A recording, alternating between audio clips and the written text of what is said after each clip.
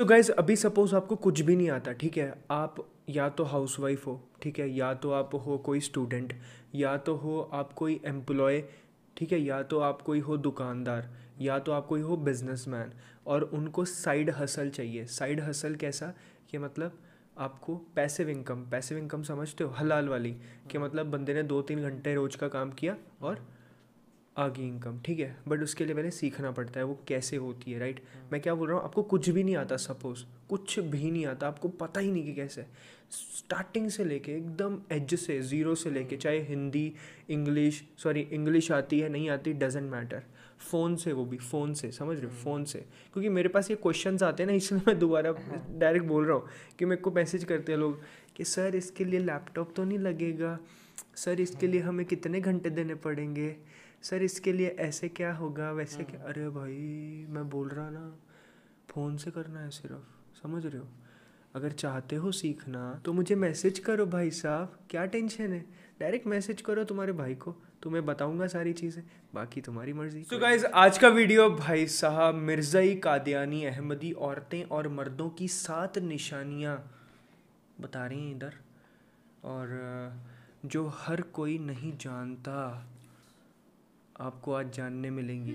हाँ। अगर आपने ये पहले वीडियो देखा है तो बहुत अच्छी बात है। ए आर फ़ूड वर्ल्ड से है ये वीडियो। एंड uh, देखते हैं हम भी पहली दफ़ा देखने वाले हैं। कादियानी का नाम बहुत सुना है। हम्म। हमने जेलम के मोहम्मद अली मिर्ज़ा साहब से वो नाम सुना है। मुफ्ती तारिक मसूद साहब से नाम सुना है। हाँ। तो देखते हैं आगे क्या होता है। तो let's start this video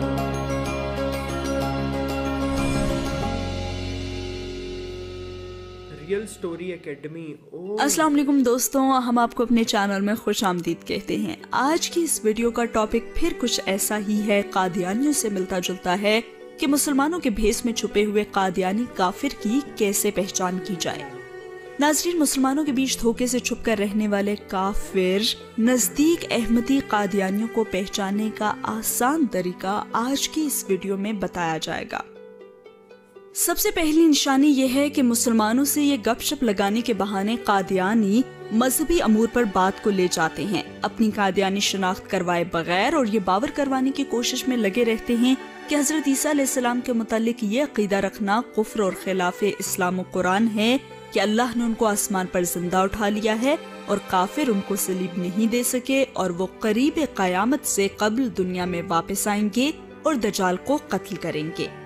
बल्कि उनको सलीब पर चढ़ाया गया, लेकिन वो जख्मी हालत में फलस्तीन से कश्मीर हिजरत कर गए।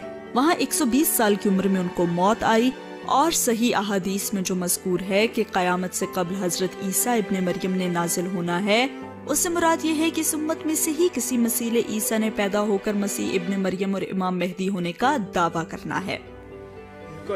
दूसरी निशानी ये है कि उलमाए दीन से ये शदीद मुतनफर करने की कोशिश करते हैं और उन्हीं को तमाम बुराइयों की जड़ बताते हुए मुल्ला या मौलवी के नाम से पुकारते हैं। फिरका वारियत और कुफर के फतवों पर बात करने के बहाने बहाने मौजू को अकलियतों के खिलाफ होने वाली कार्रवाइयों बाशमूल कादियानी जमात, जिसको ये जमात अहमियत दिया कहकर मुखातिब करते हैं, उनकी तरफ़ ले जाते हैं। और फिर ये भी जताने की कोशिश करते हैं, क्योंकि मुसलमानों के तमाम फिरके एक दूसरे को काफिर करार देते हैं, वैसे ही उन्होंने जमात अहमदिया को अपने आपस के इख्तलाफात की वजह से काफिर करार दिया है। तीसरी निशानी इनकी ये है कि कादियानी चांदी की खास किस्म की अंगूठी पहनते हैं। अक्सर लाइल मुसलमानों के सामने या फिर वहाँ पे जहाँ पे उनको इस बात का यकीन हो कि कोई उनको पहचान नहीं सकेगा। और उस पर कुरान की आयत लिखी होती है, जिसका तर्जुमा है, क्या अल्लाह अपने बंदे के लिए काफ़ी नहीं? ये अंगूठे कादियानी मिर्ज़ा कादियानी की सुन्नत के तौर पर पहनते हैं, क्योंकि मिर्ज़ा कादियानी भी ऐसी अंगूठी पहना करते थे। चौथी निशानी यह है कि जो कादियानी है, इनके खलीफा की मुकम्मल दाढ़ी होती है। ये धोखा देने के लिए कि वो शायर इस्लामी की मुकम्मल पाबंदी करता है। वरना चूँकि वो मुसलमानों से नफरत करते हैं तो उनकी यही कोशिश होती है कि हर उस जाहरी वज़ा के शुआर और नकल से बचा जाए, जो कि मुसलमान अपनाते हैं। जैसे मुकम्मल दाढ़ी एक मुट्ठी भर, लेकिन कादियानी आपको ननानवे फ़ीसद फ्रेंच कट दाढ़ी में ही मिलेगा। पांचवी निशानी ये है कि कादियानी कभी मुसलमानों की तरह गोल टोपी नहीं पहनेगा, बल्कि मखसूस नमाज़ वाले या तो फिर पठानों की मखसूस टोपी पहने नज़र आएँगे, या फिर सिंधी टोपी, या फिर जिनाह कैप। इनके जो खलीफा होते हैं, वो पगड़ी पहनते हैं शिमले वाली, और इसके अलावा जो कादियानी होते हैं, उनको पगड़ी पहनने की इजाज़त नहीं होती। फिर खलीफा के बाद जो निचले दर्जे पे आते हैं, वो जिनाह कैप का इस्तेमाल करते हैं, पेंट कोट या शलवार कमीज शेरवानी के साथ। और फिर उससे जो नीचे आते हैं, वो या तो पश्तो या फिर पठानों की मखसूस टोपी पहनते हैं, या फिर सिंधी टोपी आपको पहने नज़र आएँगे।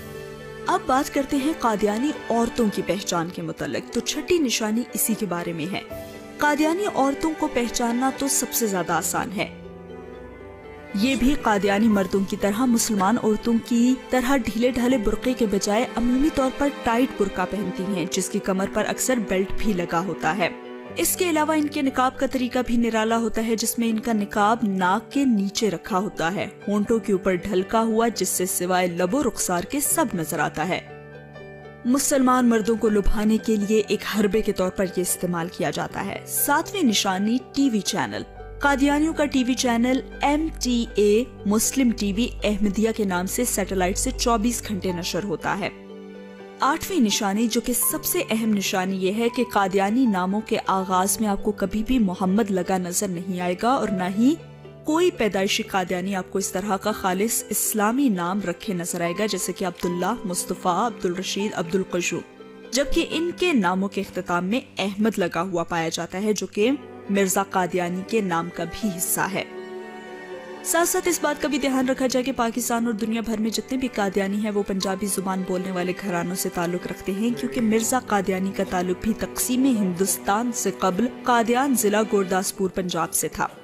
तो ये थी कुछ निशानियाँ कादियानियों की जो कि हमने आज की इस वीडियो में आपके सामने रखी। उम्मीद है कि आप इसको ज़रूर याद रखेंगे और आगे भी शेयर करेंगे ताकि मुसलमान इस कादियानी फितने से महफूज रखें और अपना ईमान सलामत रखें।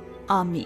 ये था हमारा रिएक्शन ऑन कादियानी मर्द और औरतों को पहचानने की सात निशानियाँ।